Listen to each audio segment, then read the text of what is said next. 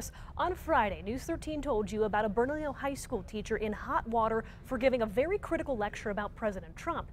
Now, several of her students are coming to her defense. News 13's Ryan Martin joins us with what they have to say. Ryan. That's right, Madeline. These students stand by their teacher, and she and they believe she has every right to freedom of speech. They want to make sure her job isn't in jeopardy.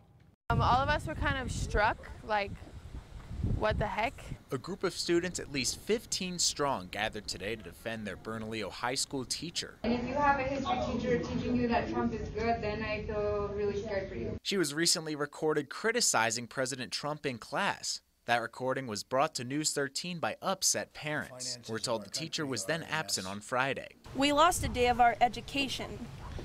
Our, our parents are not glad that this has happened because we should be educated just as well as other students should be. Her supportive students made signs like this one because they believe their teacher has the right to express her own opinion and they think the recording is unfair. She's definitely a teacher that sees, she's a teacher that cares about your feelings and education, so I would feel like she wouldn't push someone to believe something they didn't want.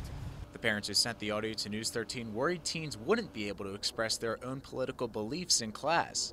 But a senior athlete on a team the woman coaches says that's not the case at all. I personally support the president, and me and my coach, we do have debates and we talk about it, and we do educate each other, and I do see her points point and she sees mine. And while they await the district's next move, they hope speaking out will keep the teacher they love at BHS. We all learn from having debates. Our teacher is highly respected in this school.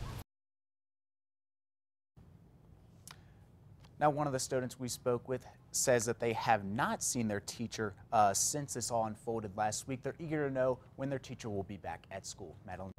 Okay, thanks, Ryan. On Friday, the interim superintendent called the recording and lecture very concerning and would only say that the district is dealing with the teacher at the quote appropriate level. Immigrants and refugees